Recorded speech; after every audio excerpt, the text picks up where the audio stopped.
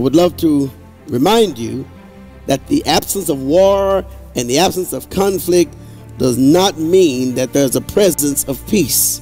Peace, real peace, real peace, is an internal phenomenon. It, it happens inside of you. Peace it, it enables you to sleep when the wind is howling.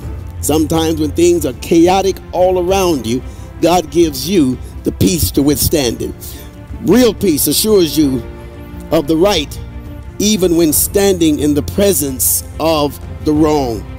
Real peace lets you see yourself standing when all around you is falling.